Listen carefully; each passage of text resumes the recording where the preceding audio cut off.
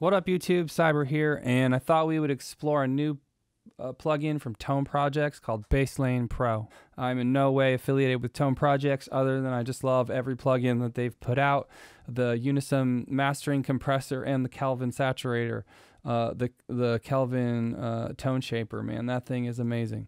But uh, Basslane Pro is new, so I thought I would dive into it with you and explore what we can get out of this thing. All right, let's take a look. First, I made this little loop for us to mess around with, which is actually all vital patches.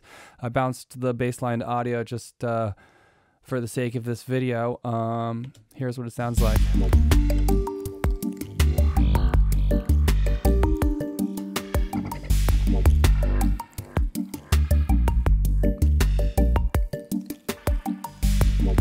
All with Vital, every single um, every single sound. I'm working on a psydub preset pack for Vital, so if that's something you might be interested in, definitely subscribe to my channel uh, for updates on that. Uh, hopefully by the end of the year.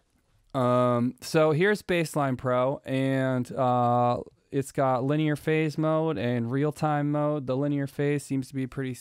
The default seems to be pretty good uh, in terms of preserving the sort of stereo image.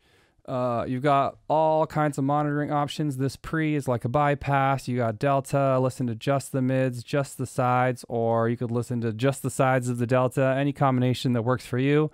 Or you could solo just the filtered signal. And this the way this plugin works is it uh, basically brings up a parallel signal that is filtered and processed with the stereo harmonic section here and dynamics. All of this works on the sort of processed parallel signal as far as I understand it. If for some reason I get anything wrong in this plugin, let me know in the comments. Um, so first, the uh, the audio comes into this sub filter here, which you could use to sort of say uh, put it on side and clean up you know any if you had too much side information you could cut it all up to 150 uh, you got your regular stereo um, low cut here or you can do the low cut with a uh, resonant boost, which can be nice. Like let's say, here's my mono bass line. I'm gonna solo it up. Say I had a little too much sub, I could bring it right there. Maybe give it a little bump for a little extra thump on the bottom. That's kind of cool. Um, since it's a mono bass line, this width control isn't gonna really do anything right now.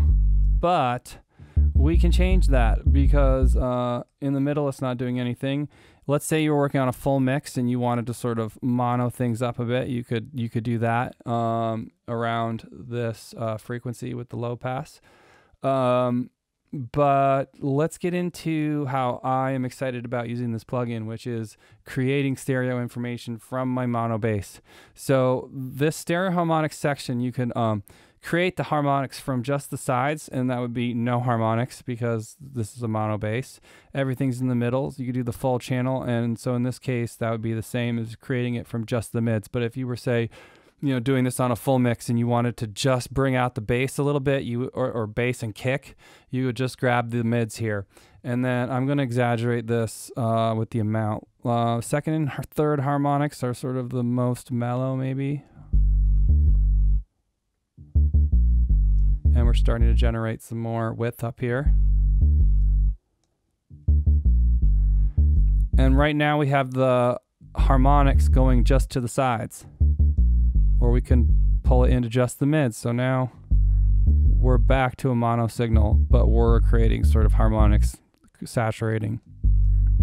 But let's push that back out and just listen to how that bass opens up. Here it is in the mix.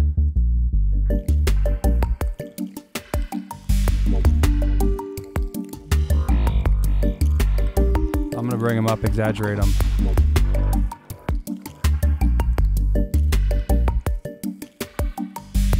Before.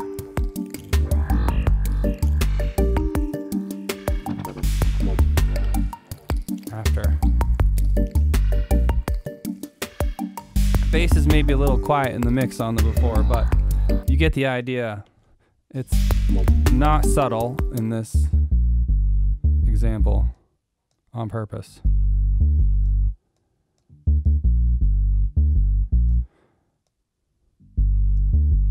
Let's hear what the even and odd sound like. Even a little more aggressive. It's got a built-in limiter that is low frequency focused.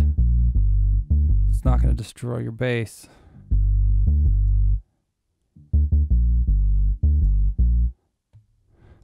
And I'm narrowing it. Let's make it even wider now. One cool trick is to put this to bandpass and really tune where that low end shines. Getting a lot of mid range up here. Check that out. Before.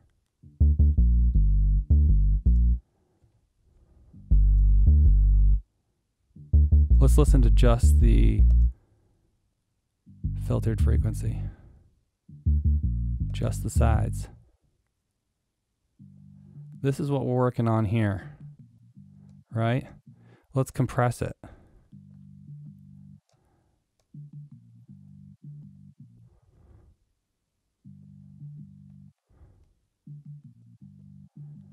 That can help bring it out, bring out some of the quieter moments.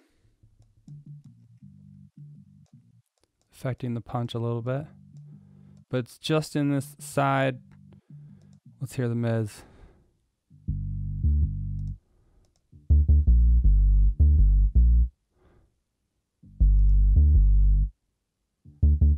Obviously a bit extreme, but that's how you learn these plugins. Now this dampen here this is basically a high cut and it's a very gentle slope. So even cutting down pretty low here, sometimes when you're generating a lot of saturation, it can get a little bit too much up top. So this is a nice way to sort of pull back any of that sort of harsher saturation that's happening up higher. But like I'm hearing stuff even up here. I'm guessing it's a 6 dB slope. It's, it's pretty gentle. And now this dynamics section, I don't know how uh, it's based off Unisum mastering compressor, which is a phenomenal compressor. But let's say you wanted to, um, this just affects this um, process signal, what you're hearing if you hit solo, not which is being brought up in parallel with your full mix. So if you want to set this, I think it's probably good to solo. And you will hear, let's do the full the full signal.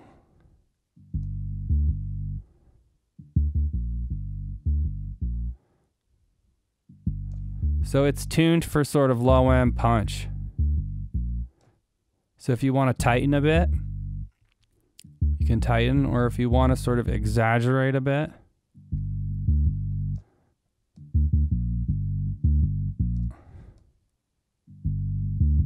I mean, that sounds pretty dope to me. Let's hear what it sounds like.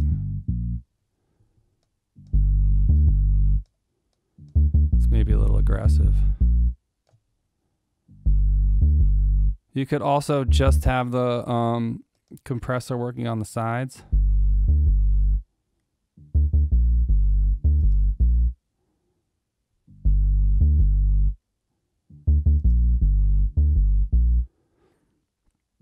Yeah. So one last thing to mention is this mono recovery section, which is some wizardry that let's say you were um uh, working on a full mix and you wanted to sort of monoize from like 200 down um, you know sometimes like you might have like low toms on your drums or something that uh, you know might get a little bit lost uh, because they're panned hard and when you mono the low end they kind of disappear and so this is some wizardry where, like, let's say you had a tom on the left that's like, oh man, where'd that go? I want it. You could recover that a little bit. Most likely, most of the time, you would just use auto and set this amount. And a lot of that, it, it like, it's like an anti phase cancellation wizard thing going on here. So, uh, if any of you have tried that and had good results, let me know. I haven't had a chance to use it yet um, enough to know how good it is, but knowing tone projects, I'm pretty sure it works awesome. So um, the other thing to mention is you can get more or less of the sort of saturation by holding shift and these are linked input outputs so you can drag up and down and get more or less saturation that way. Um, I assume that also might affect this width, but maybe not. Um, I think it's probably mostly just for the stereo harmonics, but um, let me know in the comments if you've discovered anything about that too. So if you haven't, please subscribe. Hope uh, you had fun checking this plugin out with me. And uh, until next time, peace out.